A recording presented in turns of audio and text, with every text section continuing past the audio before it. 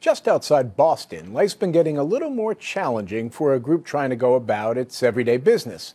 And by just outside, we mean the Boston Harbor, where, believe it or not, it's just getting too loud underwater for some of the creatures who live there.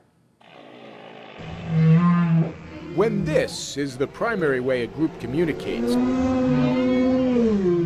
then this is the sound of trouble.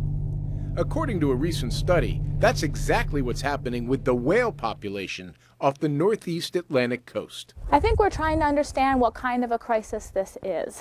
Leila Hatch is co author of a government study of underwater noise in the shipping lanes of the Boston Harbor.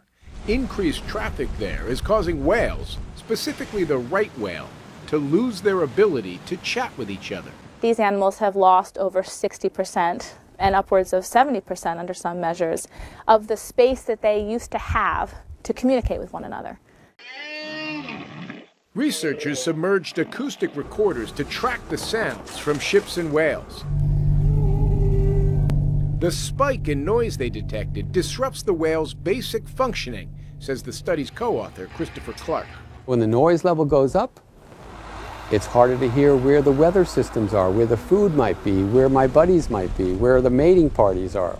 14 years ago, nearly 350 cruise ships and cargo vessels used the port of Boston. According to the latest statistics, that number is now more than 420. The noise from increased shipping disorients the whale's population, sometimes with devastating results. When a ship hits a whale, the whale's dead.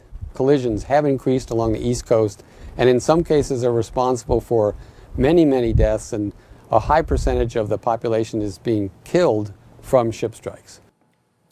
There are roughly 350 right whales left in the world after they were hunted to near extinction in the 1700s.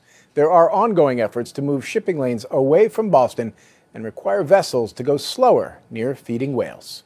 Jim Axelrod, CBS News, New York.